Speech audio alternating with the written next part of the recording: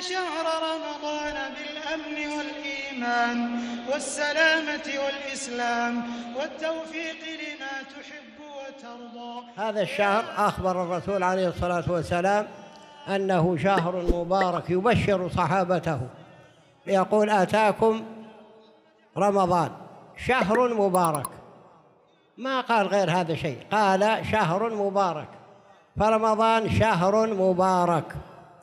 فهو شهر مبارك في كل شيء.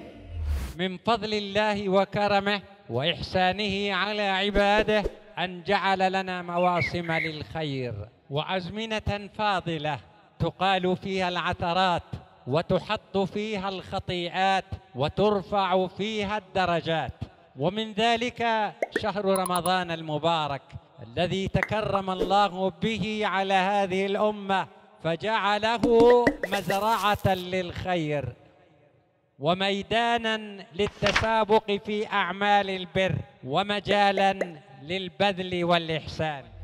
الصيام أيام معدودات إما تسعة وعشرون يوما أو ثلاثون يوما وهذا يدل على تقليلها ليحدث التنافس بين أهل الإيمان في اغتنامها. عبادة الصيام هي قربة إلى الله. بأن يحبس الإنسان نفسه عن مشتهياتها طاعة لله تعالى. احتسابنا أجر الصيام يا أحبة معناه أن نستحضر كل ثواب. ذكر لنا في الكتاب والسنة في فضل الصيام وأجر الصائمين عند الله. يقول نبيك صلى الله عليه وسلم من صام يوما في سبيل الله باعد الله وجهه عن النار سبعين خريفا. وليحذر الإنسان مما يضيع عليه هذه الفرصة فإن شهر رمضان ليس محلا للغفلة ولا للعبث.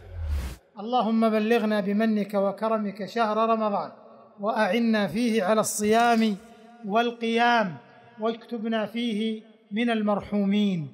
وممن كتبت لهم المغفرة وممن أعتقت رقابهم من النار.